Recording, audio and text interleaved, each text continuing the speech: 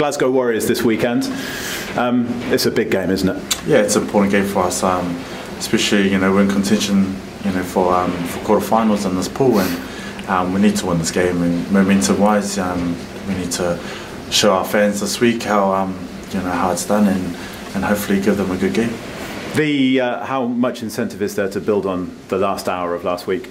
Oh, big, big, um, hugely. Um, you know, we've been playing, we've been starting well, and um, I think uh, it shows that when we do play well, we can we can really put teams to the sword. And um, I think this week we just got to start well and, and put a good performance out there for the for the fans. If anything, the game at Scotstoun back in uh, before Christmas, you know, you scored early, and uh, and an Ahsee Tuala got a try as well. You know, put the Warriors under pressure early doors. Really showed the value of that early start of a good of a good start. Yeah, well, that's that's what we needed on away games. You need to put some points on the board, and and that's what we need to do here at home. You know, we got to the support we got here. Um, we put teams, we put um, points on the board early, and we can come away with the with the win quite easy.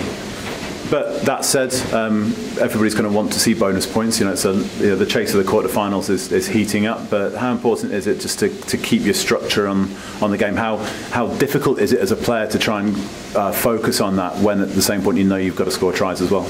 Yeah, it's quite difficult, but um, you know we're going to go for the win first. The tries will come when you know when we're we'll try to go for those four tries when it, when it happens. But um, hopefully the way that we play, we're playing and you know the way that if we're, we're winning, we've scored the four tries already. So so hopefully that happens. And how much respect is there in amongst the players for the Glasgow squad?